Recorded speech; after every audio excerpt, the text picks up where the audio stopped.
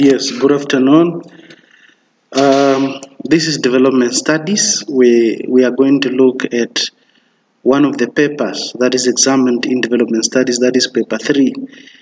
Development studies has three papers, that is paper 1, paper 2, and paper 3. So, but for the purposes of this lesson, we are going to look at paper 3, or what we call research. Research actually is out of 50 marks and uh, it has two sections. Research has uh, two sections. The first section is section A, and uh, section A is predominantly theory. They ask theoretical questions about research. For example, what are the methods that are used to to collect data in a research? What are the sampling methods that are used, what are the weaknesses and strength. That is what we call theory. So in total it has 35 marks. So if learners can have an, a good understanding of questions in theory, then they will not have a problem in research. So after that, then we have section B. Section B is always practical, is out of 15 marks. At the start of section B, there is a statement that is made by the examiner. They say, that in your development studies course, you were asked by your teacher to carry out a research on development issue. So the purpose of section B is actually to ask learners to be able to give findings, to give findings on the on the research that they carried out while they were in school. So the learners then are expected to to report their findings using graphs, presentation skills, analysis, and conclusion. So, however, I must state it that uh, many of our learners are struggling to, to do well in section B. So that is the reason why we are here, so that we can then assist you for, for you to be able to understand what are the steps that you need to take for you to have an understanding of, uh, of section B, the practical part. So, but um, definitely during the course of the year, you are going to be exposed on how one should go about carrying out the research. With that, I hope that you will not have a problem answering uh, section B. So let's then start with our first part in research, that is section A, the theoretical, uh, the theoretical part. Um, these are the steps. These are the steps that learners need to follow for them to draft a research proposal or their research uh, report. Remember that when you are going to be asked to carry out a research, you are going to make what we call a research plan or research proposal, and after that, you are then going to be required to give feedback or to give a report on the findings that you made. So these are then the steps that one need to follow for them to be able to do a proposal or to give a research report. Very important, number one is uh, each learner must be able to select a topic, identify a topic, but this topic should be related to development studies.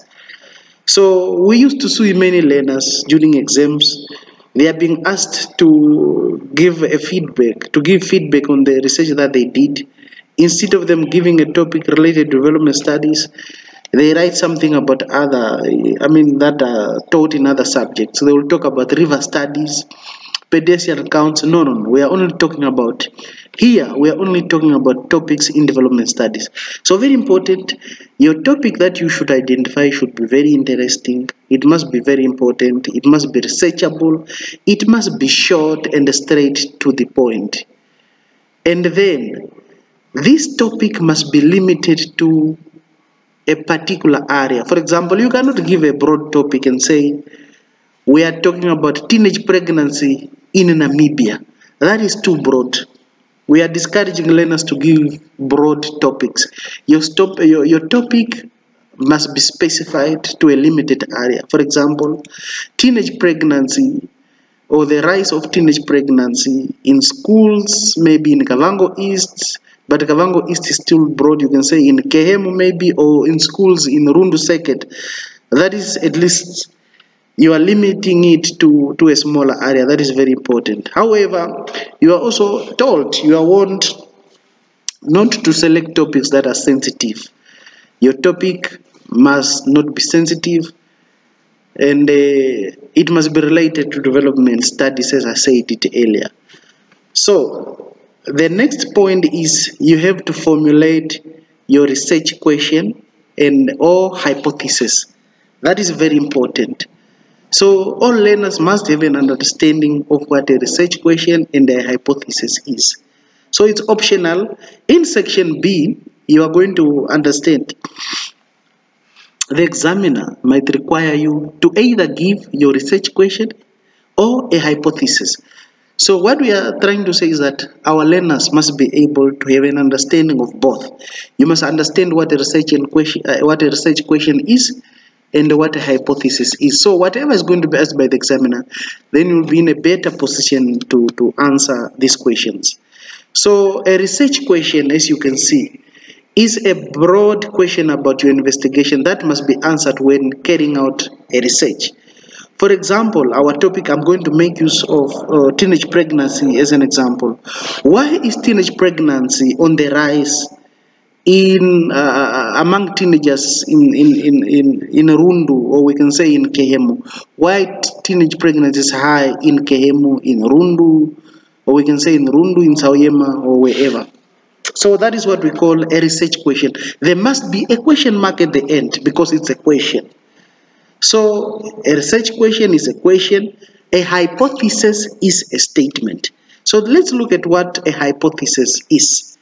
So you must never put your hypothesis in a form of a question because a hypothesis is a statement. So a hypothesis is actually a prediction that you make about something that you believe to be true. It's a, you make a statement, but that statement should make a prediction of what you believe to be true about the topic that you are researching on. So, when you make a statement or a hypothesis, you actually do not have evidence to prove that this hypothesis is correct or wrong. So the hypothesis then will be will be proven to be correct or wrong after you are going to carry out your, your research.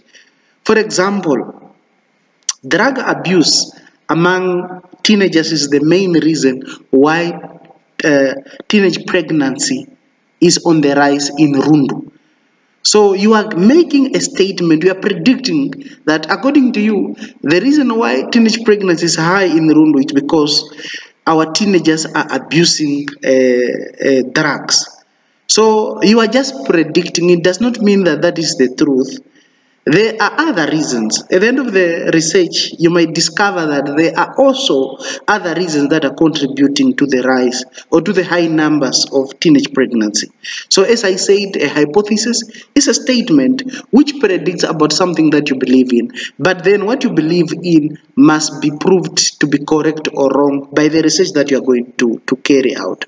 So each and every learner is expected to have an understanding of what a hypothesis is because it's actually asked optional, you can go for a hypothesis or a research question.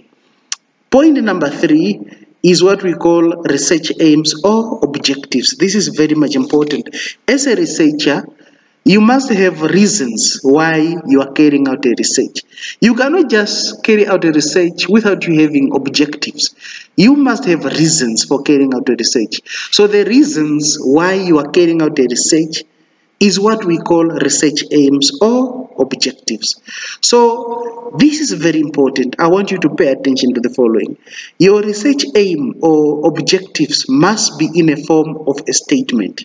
For example, my aim is to find out, to discover, to investigate, to experiment, to find out the reasons why teenage pregnancy is very high, is so high in Rundu to find out the solution, the solutions to teenage pregnancy uh, in Rundu, or to discover or to uncover uh, the negative effects of teenage pregnancy.